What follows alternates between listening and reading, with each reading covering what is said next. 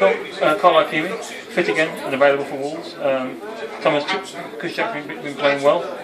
Who plays for you the remainder of the season? I, think, I, I, I was at, I've been to the last two games. Uh, Thomas has done all right. There. You know, he doesn't catch anything. He punches everything. But I think you know, Carl, Carl dominates his box and everything. I, I, I think I think we've got a great chance of making the playoffs. And I think if Carl's fit, we're going to play. No, dis- no disrespect to Thomas. I think we're going to play. Yeah. You mentioned the playoffs. I mean, are now within two, within two points. You fancy the chances? Yeah, I do. I really do. I, I've been, I've been to the last two games and uh, two great results. Great result against Derby. And I, I, just, I, I think if if Carl's fit, you've got to play. him. Yeah. The lads know what he's going to do. He's going to come out, catch his crosses, where Thomas tends to punch everything. Yeah. Like, you know what I mean? No, Yeah. no, no disrespect to him. lot.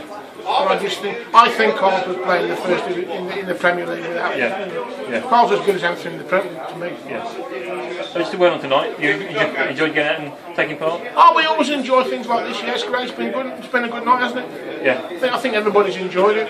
Yeah. Brilliant. Yeah, yeah. Thanks, Phil. No Cheers. problem. Thank you.